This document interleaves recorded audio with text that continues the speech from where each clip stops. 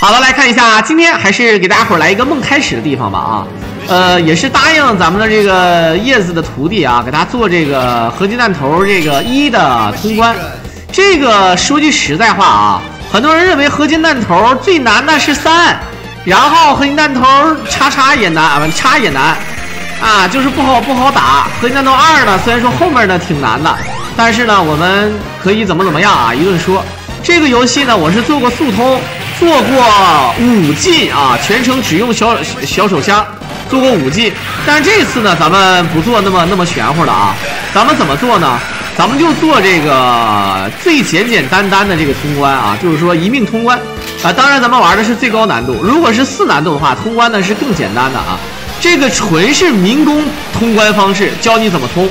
呃，菜鸟呢可以去学，但是缺点是啥呀？跟大家伙讲一下吧。缺点就是说。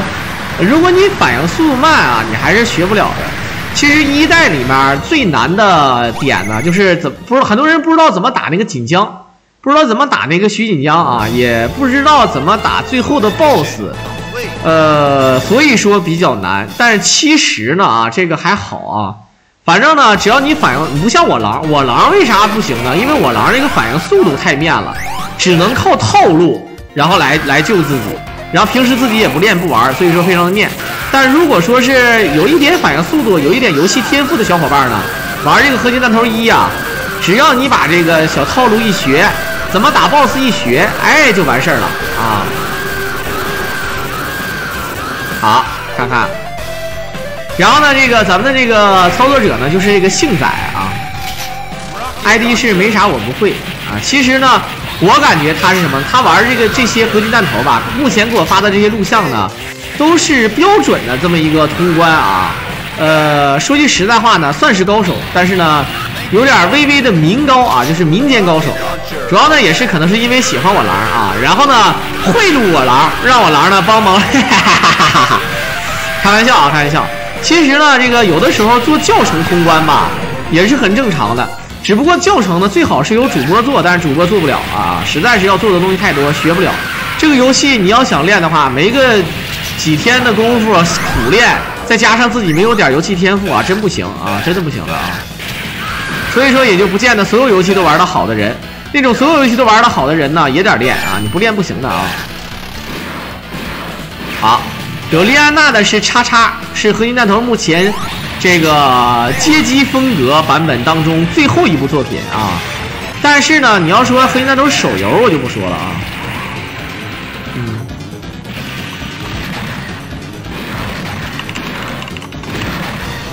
当当当当当当当当当。当当当当当当当。合金弹头一这个游戏跟二三。之后的都不一样啊，它虽然说是。纳斯卡公司做的，但是，呃，感觉啊，就是。一呢，其实已经横空出世，让大家伙都觉得好看、好玩啊，没毛病。但是。呢，事实上呢，哎，二啊，还有这个叉以及三越做越好，也就没那么烂尾了。经常你们会发现一件事儿，有的时候会有烂尾。看一下啊，什么时候开始扔？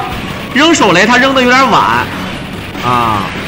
好，这里面咱们通过秒杀的方式啊。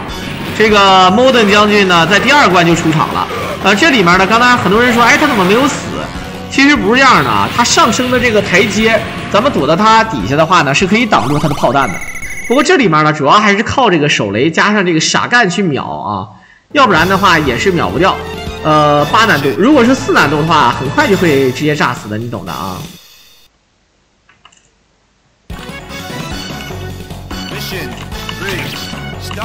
嗯。哎呀妈行啊！这老头儿，老头儿，哎哎哎，过来，我们绑到这儿了啊！这老头儿就跟那个小粉灯门前的那个小女孩，哎呦呦呦，就跟那个小粉灯门前的那个女的似的啊！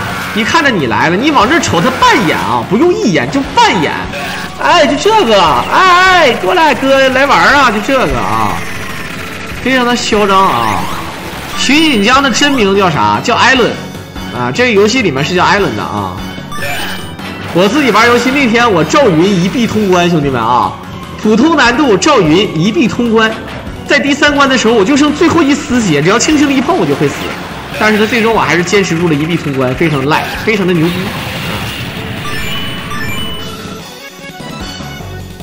好，呃，这个也是加加子弹啊。小的时候一直不知道这个工具箱是干什么用的啊。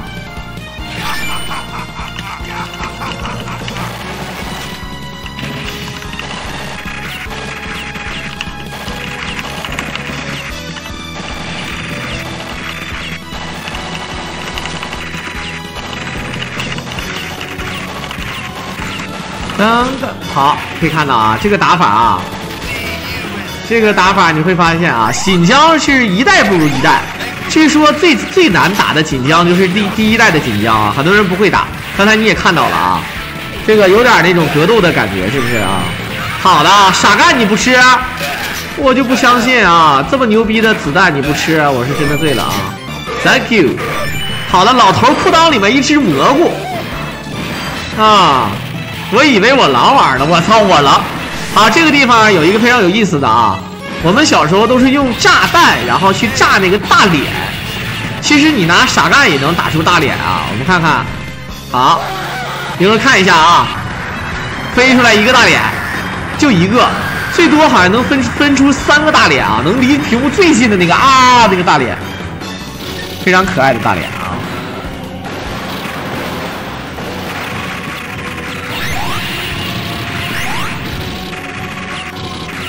嗯，嗯。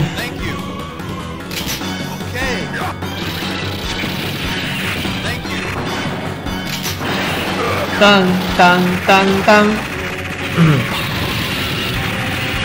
新手打紧张不能不能近身，你看那高手打紧张跳起来拿刀一顿续是吧？很厉害是不是感觉？好的，从上面走。我操，这树都能打碎的啊！现实生活中这么大的大树，说句实在话，你拿，哎，行了，我开玩笑的啊！我刚想说拿子弹你想给那个树打碎是不可能的。后来我又一想，他妈的，我们拿小手枪都能把坦克打碎，还他妈有什么不能的？我真是服了。好，可以看到这一关的 BOSS 啊，往后一顿拖扔手雷，这这坦克边扔手雷不能边开枪的吗？啊！就没有然后了，这个 boss 根本都没发过子弹，直接就被秒，这个就是教程，兄弟们啊，这个就是教程。那首先咱们前三关你们没发现吗？好像啥也不用干啊，感觉很简单的样子。但但是吧，就是你要不玩，对吧？强啊，对吧？就是直接欢笑。你若一玩，鸡飞狗跳。不信你们试一下啊，没玩过的人一提看这么简单，我也会。一上去之后什么玩意儿？这游戏太难了啊，游戏太他妈难了啊！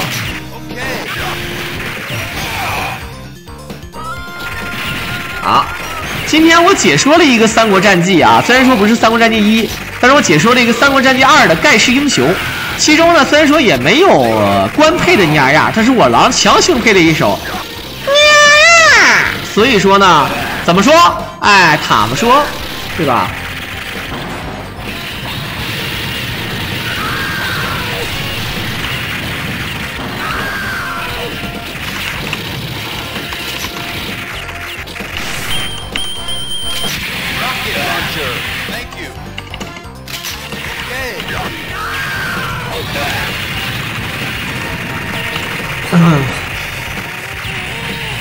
天天晚安是吗？晚安，兄弟们，兄弟们，好。合金弹头吧，我觉得它不是说好玩的事儿啊，它这个风格实在是太好了，真的。玩游戏就是为了这个，就是为了这个叫什么来着？啊，为了快乐的啊。这个你光看它这个喜感就很快乐。好了，这个是双坦克啊，先上来炸死一个，然后跳起来朝下，然后扔到追后面一顿扔手雷。啊，双连手雷接傻干，这个就是这关的 BOSS 啊，这就是这关的 BOSS。你愿意看，你就就是虽然说是双 BOSS 系统，但是你根本看不懂。不过这关呢其实是有难度的，如果是那个全程只用小米加步枪的那个，全程只能用小手枪的那个玩法，真的是挺难的啊，必须要有抻头啊。啊，可以看到，Mission Five Star，后面那个大妈跑的还挺快，你看这个大妈。我忘了啊！直接从车上跑过去，我去！直接从那个甲壳虫上跑过去了啊！东东里有几个角色能冲通关？我东东通关的多啊，好像哪个都能通关，但是你说的那个那个就通关不了了，就是那个他最后那个打七个人那个真不好通，兄弟们，那个是太难了那个。那有的人打七个人他打不了啊。这游戏有故事背景吗？当然有了啊！一的故事背景是最有内涵的啊，因为它是反战题材。二里面呢加入了这个 modern 的这个啊这个跟外星人的合作啊。好，啊又有一个大脸，看不见？多扔了两个手雷，这这个要划重点啊，要记住划重点。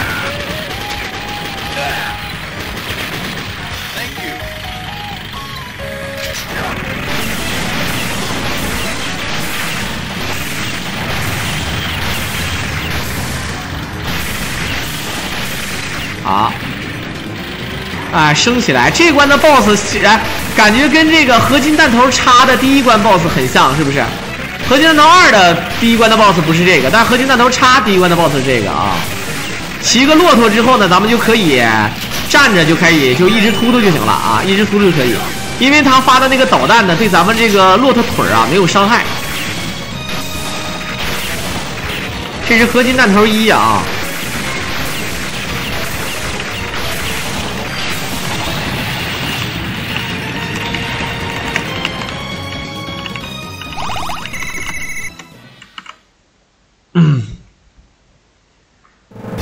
Mission Five complete。好，我操！一上来一我操，这些坦克哇，还有超能坦克，看不看见？一上来三个坦克直接往那边跑啊！啊，最后一关的标志音乐，看不看见？当当当当当当当当当当当当当当当当当。就是你玩《合金弹头二》，它的这个最后一关打那个外星人的时候，也是这个音乐，啊，是不是？当当当当当当，啊，当当，最后一关，合金弹头有一个特别逗的一个点啊，就是，呃，就是几乎所有版本都是最后一关的时间非常的长，啊，非常的长。像合金弹头三萎缩起来，合金弹头三的话，它有可能会赶上一半的游戏时长啊，不是赶上，就是一半的游戏时长。而这个合金弹头其他版啊，这个最后一关也是将近一半，最起码是百分之四十。比如比如说一代，比如说二代啊，都一样的啊。小狼讲故事，有的时候喝酒和不喝酒讲的故事不一样啊。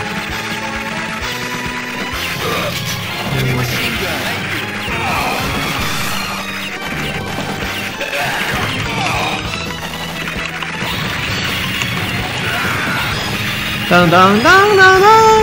魔域战线看不了，谁说能看魔域战线？找一个高手打一个全新魔域战线的一命通关。我来给大家伙解说，现在是真没有啊！现在是看完之后，他说他那个 room 不对啊，说 room 不对的啊。好，可以看到 modern 扛着 RPG 一个炸，哎，顶上那个拴着那个不，你们不怕摔死吗？直接跳到这个这个潜艇上。给了一个，给了一个机枪，但是咱们这个游戏啊，打最后一关的时候是没有机枪的，咱们只有坦克车。如果你坦克死了，真不好打，菜鸟是真难。游戏有排名，但是你下载一下，你试一下能不能放就知道了啊。但凡能放，但凡能放，我不会告诉你的。刚才很多人说怎么没死，从载具上跳下来的一瞬间，确实没啥事儿啊。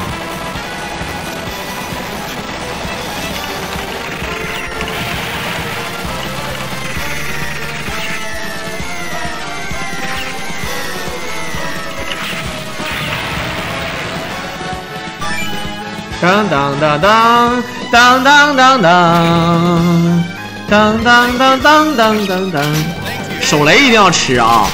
这一下这么多手雷，该说不说的。好，上方那个坦克啊，吃到那个坦克之后就是无敌了。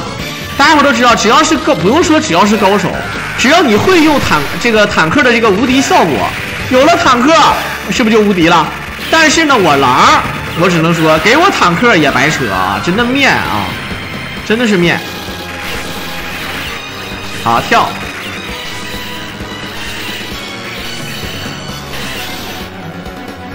下干。那骑摩托车那不是敢死队吗？那是。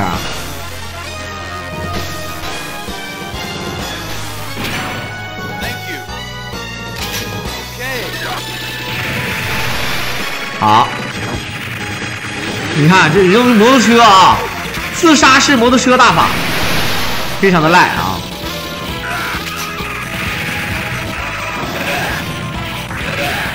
坦克车自带这个炮，哎，我就想说一个事儿啊，大家伙有没有印象？就是船这个船靠岸的一瞬间，咱们往回走啊，就从下水的时候往回走可以吃分儿，可以吃分儿。那我想问一下，最后我知道是不是能淹死？但是用坦克了之后是不是淹不死了啊？一手自爆，好，五十七发手榴弹，兄弟们，五十七个手榴弹。我们。看看，没有载具，没有载具啊，无载具的玩法，来打这个变态的五号直升机，看看怎么说啊？首先咱们。有二十多发傻干啊，这傻干就非常厉害。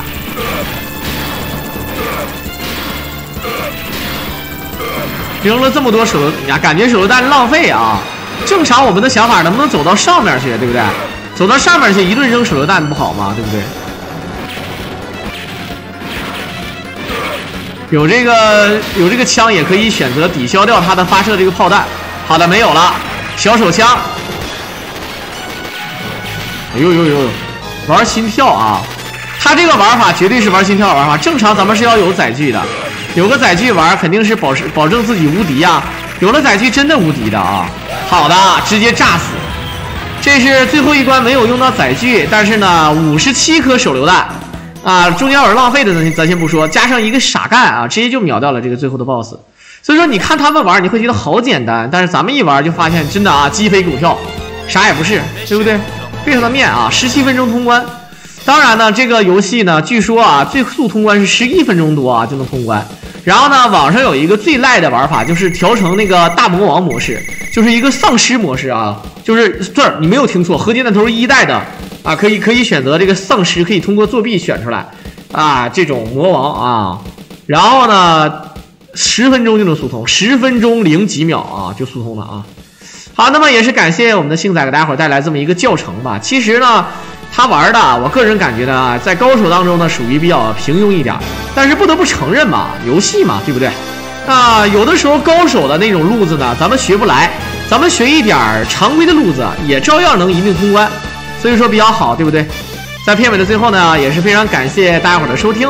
如果大家伙喜欢我狼解说，一定点击屏幕当中的关注和订阅来支持我狼。我们下期再见吧。